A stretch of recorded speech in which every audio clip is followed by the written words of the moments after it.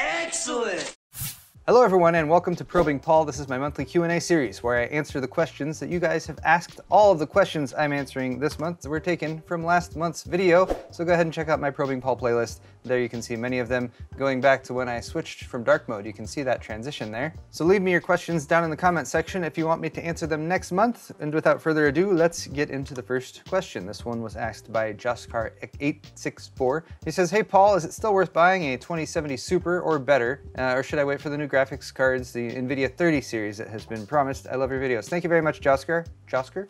First off, I should point out this is the consummate question when it comes to building or upgrading a computer. Should I buy now? Should I wait? The universal response is that no matter when you buy, there will always be something new on the horizon, whether it's in a month or six months or a year, and that will launch and then your computer will be outdated and you'll need to spend more money to upgrade it if you want the newest and fanciest stuff. With that in mind, the general advice is often you should just buy now. If you've got the money, if you know what you want, if you know the parts you're looking at will provide you some sort of meaningful upgrade when it comes to the frame rate you're getting in your games or the the speed at which you can render out videos, then you should just dive in and buy it. That said, if you know something's coming out in a month or in two months, and you know it's going to be a big upgrade, a generational change, like uh, on the CPU side, going to a brand new architecture with a brand new series, often with a brand new socket and motherboard, or on the GPU side, when they're changing and switching to a smaller manufacturing process, they're supposed to be going from, I believe, 12 nanometer down to 8 nanometer with these newest uh, RTX 3000 series of GPUs that are still very much in the rumor phase right now. Everything we're talking about right now is just rumored, nothing has been confirmed by NVIDIA. It is, however, reasonable to assume that NVIDIA is going to be launching a next generation of graphics cards, and yes, they should be based on a newer manufacturing process and a new GPU microarchitecture, which could provide a significant uplift in performance. The new architecture is codenamed Ampere at this point, but beyond that, there is really not too much that is officially, officially confirmed, so we're relying on rumors and uh, benchmarks that have leaked out through benchmark aggregate websites and that sort of thing. I will point you guys over to this Tech Radar article, it's linked in the description, that goes over some of the release date rumors, spec rumors and everything, and it's, it's sort of gathered together the reasonable ones right now with links going to the relevant articles. I highly recommend checking out the article if you want to read some more details, but the best educated guess that we can make right now is around September of 2020, which isn't too far away. We're already in July, so that's August, September. That's about two months, two and a half months maybe. So if you're really in that position where you have 500 or 600 or 800 bucks to spend on a graphics card right now, you're really on the cusp of the recommendation of buy because you have the money right now and you can get something that you can use right now versus wait for that next generation that is theoretically just on the horizon. If NVIDIA would come out with something, something more solid, then I could give you guys a more solid recommendation, but really we're dealing with speculation and rumor at this point. So take all this information with a grain of salt, my advice included, and hopefully we'll have something more solid to go on soon.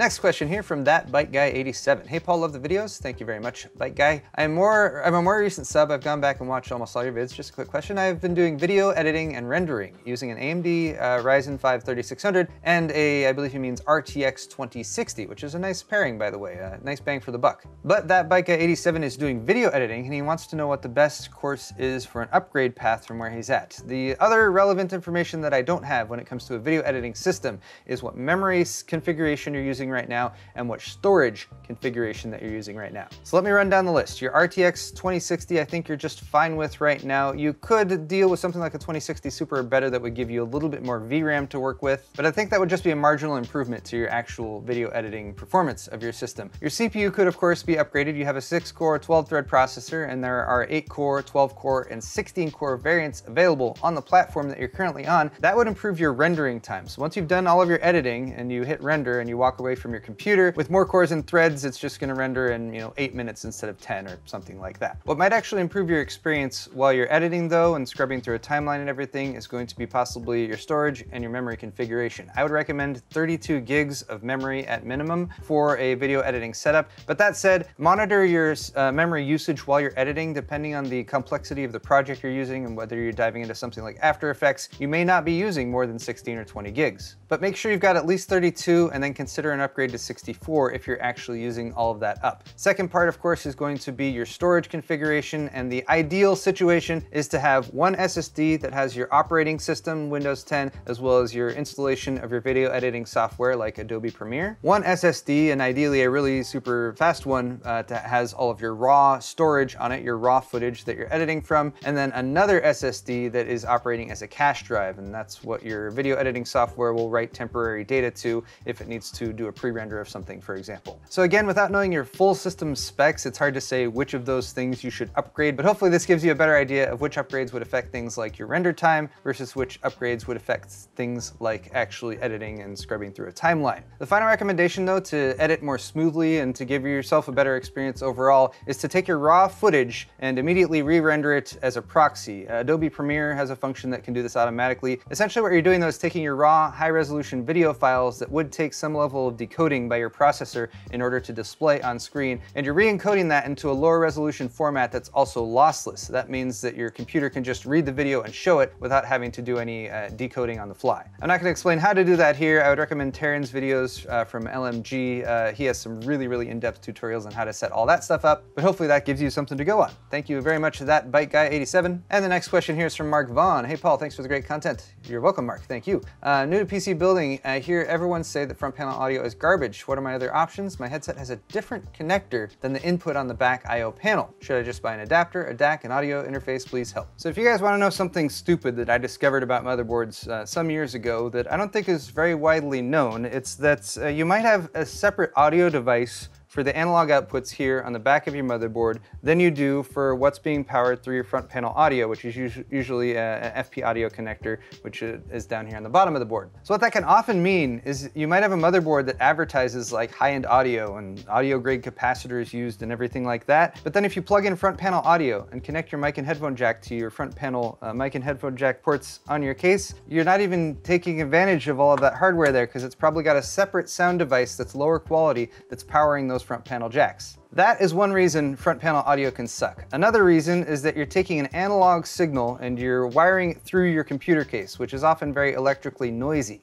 An analog signal is very much subject to interference, so this can often lead to buzzing or other weird issues when you plug into front panel audio with your mic and headphone. So my advice for people is to typically just plug in analog connections to the analog sound outputs on the back of the motherboard, or alternatively, if that's not working well for you, or if you want a better solution, invest in an external DAC, uh, which would often connect via USB, and that would take your digital signal via USB and then do the digital to analog conversion externally in a separate box, which can often remove a lot of that uh, interference noise, and external dedicated boxes can often have much higher internal components. This is not an external DAC, it's a headphone amplifier that takes an analog signal and amplifies it, amplifies it. But uh, it's made by Mayflower Electronics, and they make external DACs as well, which is why I thought it would make a good visual aid. If you want to get to the fundamentals, your question should be, where does the conversion happen from digital to analog? If it's a digital signal, it can be fairly well protected, and then once it gets to the point where it's converted to analog, that's where the quality matters of the components being used. And that's where something like an external DAC might provide you with a much better final experience, especially if you have really nice headphones or something like that,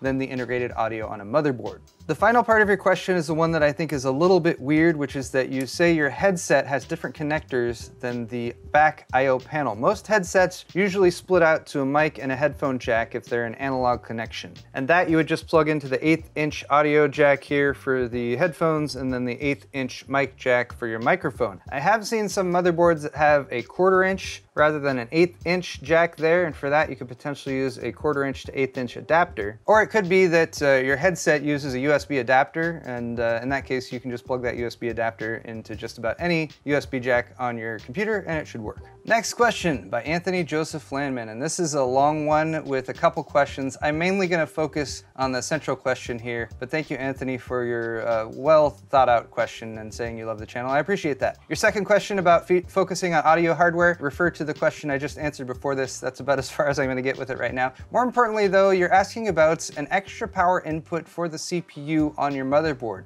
Uh, this is pretty common actually. So pretty much all motherboards these days are gonna have some form of supplemental power for your CPU CPU up here. This was introduced a long time ago, and originally it was just a four pin connector. Really what you have here is a bunch of 12 volt connections from the power supply that are feeding power from a 12 volt rail. By adding additional plugs there, they can feed more power overall to the power delivery because there's a limit to how much power can be fed through a single wire. So the vast majority of motherboards you'll deal with right now or that you buy currently if you're building your own system are gonna have at least a single eight pin supplemental power connector up there and then potentially they might have another one. So this motherboard also has an extra four pin there or sometimes you'll see an eight plus eight. All this has to do with the power delivery configuration here and these can be built in different ways. There's minimum specifications that are required in order to just make a CPU work and run as it should. But then there's overclocking and when you overclock the CPU is going to draw more power than it would by default. So a motherboard's VRMs or power delivery configuration might be built to provide 150% or 200% of what the CPU actual, actually needs, and that's simply to have the power there for when the CPU asks for it. And if a motherboard's VRMs are overbuilt to a degree where a standard 8-pin connection isn't going to be able to provide enough, enough amperage, then they might add more,